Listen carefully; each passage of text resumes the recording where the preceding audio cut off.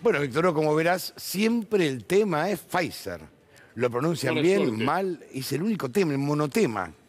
Sí, yo tuve mala suerte porque estaba mirando en ese momento el reportaje a Lipovetsky, que es un hombre que hablando ligerito, con mucha astucia, construyó su carrera política de esta manera, yendo fundamentalmente a C5N. Lipovetsky es un resultado del hecho de que iban pocos de la derecha a C5N, él aceptaba los reportajes y el hecho de aceptar los reportajes y decir las cosas que decía, normalmente los disparates que se dicen desde la derecha, le fue muy bien y se posicionó. Es bastante inteligente y supo jugar muy bien esa carta, pero ahora apareció en un reportaje en el que no paró de decir disparates, de la deuda externa, mintiendo sobre, eh, más que nada desde el desconocimiento, no tiene la menor idea. Él repite que la deuda externa que dejó, por ejemplo, Cristina Fernández de Kirchner fue cuantiosa. No tiene idea, no sabe nada y si no tiene mala fe, porque se pueden dar perfectamente cuáles son los números de aquel momento. Pero esto de COVAX, lo que ponía recién en el aire, es increíble. Habían pasado ya 72 horas que todo el mundo sabía que Clarín y La Nación habían mentido de la manera aviesa de siempre respecto a lo que había sucedido con COVAX. Ya estaba el desmentido de la ministra, ya se habían leído los mails. Eso sucedió el viernes. Ya había ocurrido que eh, el señor Cornejo de COVAX desmintiera a los diarios, hablara de la sorpresa y del disgusto que le provocaba cómo estaban usando, eh, siendo usados sus dichos. Había pasado el viernes, el sábado, el domingo y aparece en un reportaje de televisión sin que se entienda mucho lo que está diciendo, porque el recurso del Lipovetsky es hablar a toda velocidad y que no se entienda, y que si hay un interlocutor, prácticamente no pueda meter una base, porque él avasalla con la mentira que estaba diciendo sobre Kovacs, con lo que dijo sobre la deuda externa, y también con la injusticia cometida en respecto a la fragata Libertad, porque mencionó lo de la fragata Libertad. Ellos eh, no tuvieron problema de fragata Libertad, porque le pagaron 15 mil millones de dólares de rodillas a los fondos buitres. Ni entremos en ese tema. Así que lo de COVAX es ampliamente demostrativo de la capacidad que tienen para mentir, porque es asombroso. Antonio, habían pasado 72 horas y él seguía con la misma historia de que no habían traído para la Argentina las vacunas que COVAX le quería ofrecer a la Argentina de Pfizer. Era todo un invento, toda una gran mentira. Le damos el pie a Gustavo Silvestre. Bien- eh, eh, bienvenido, gato. Feliz día del periodista, querido amigo. ¿eh? Gracias, un lujazo. Víctor Hugo, un abrazo. Antonio, un abrazo. Feliz día del periodista para ustedes.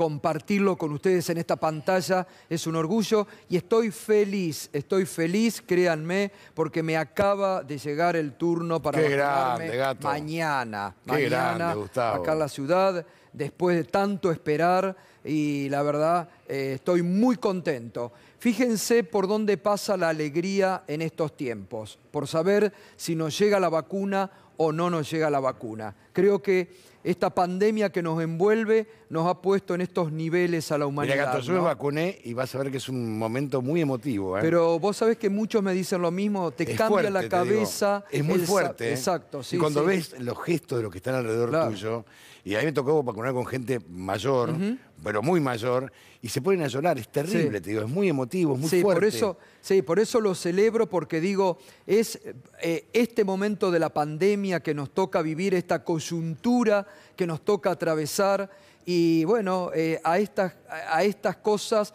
nos alegran hoy poder recibir una vacuna en el marco ¿no? de, de una semana que va a ser otra vez muy importante para la Argentina, porque mañana estará llegando el principio activo, comienza la producción nacional, comienza esta producción ya imparable de vacunas, así que realmente me parece que es una felicidad completa y es para disfrutarlo, ¿no? Sí, es el regalo del Día del Periodista, entonces. Exacto. Sí, mirá qué regalo. El ¿eh? mejor regalo que me puedan haber el hecho. mejor regalo posible. Yo me embalé y llamé para preguntarle al doctor Guillermo Caputo, Sí. querido amigo personal, pero también de la casa. Le digo, ¿me puedo vacunar entonces? Como a mí me dieron plasma mientras tuve el COVID-19, no me puedo vacunar hasta que termina junio, o sea que sigo esperando, lamentablemente, y, y- y por esto... Pero es eh, cada vez menos, Víctor Hugo, que te falta, cada vez menos. Así que bueno, Cada eso. vez menos, cada vez menos. Y yo creo que tanto ha luchado Gustavo, que es una emoción doble. La emoción personal, el gusto de poder recuperar vida, nada menos que de eso se trata. Pero también por todo lo que periodísticamente ha luchado a favor de la vacuna, lo que ha hecho eh, desde sus programas. Gustavo me parece que merecen este premio de que mañana sienta el pinchazo y sienta la emoción con ese pinchazo de lo que significa estar vacunado. Millones de argentinos ya lo están experimentando y a mí me parece que está muy claro, es la única solución posible. Ojalá te toque gato el Sputnik, ojalá, que es muy buena. Espero que sí, espero que, tiene mucha eficacia. creo que sí. Pero además, el otro día, eh, Víctor Hugo Antonio, hoy la vacuna, la vacuna produce un hecho de igualdad social impresionante. La recibe el más rico y la recibe el más pobre. Ahí no hay ninguna distinción. Hoy la vacuna se ha convertido en este hecho de igualdad eh, social. No hay distinción todo el mundo recibe la misma vacuna y en las mismas condiciones. Pero yo le robo, magnífico. Yo le una frase a Víctor Hugo cuando salió de la internación, que dijo algo que me quedó grabado, de este virus, no te, de este enemigo, no te puedes esconder detrás de una puerta, de este enemigo no te salva ni un búnker, de este enemigo no te salva. No hay nada que te proteja, solamente la vacuna y esto me parece que es para destacarlo. la vacuna y cuidarse, Antonio. No, desde ya, siempre tenemos que seguir cuidándonos. Totalmente. lamentablemente tenemos casos en las últimas horas de, esta señora enfermera que tenía las dos dosis y, falleció igualmente por el, por el coronavirus. Nos tenemos que seguir cuidando, hay que seguir extremando las medidas. Yo creo que ya hay un horizonte igualmente hacia agosto, septiembre de, vislumbrar. Ahora sí, ¿eh? Ahora sí, la, la luz a final del túnel. Llega tarde, ¿no? no importa, pero llega. Muchos años después, pero llega. Pero llega, llega. yo creo que, tenemos un horizonte de esperanza muy grande, ¿no? No, y terminar con estos odiadores seriales que se la pasan odiando, inventando e invitando odiadores, porque si no, a mí me preocupa mucho el mensaje que le llega a la población.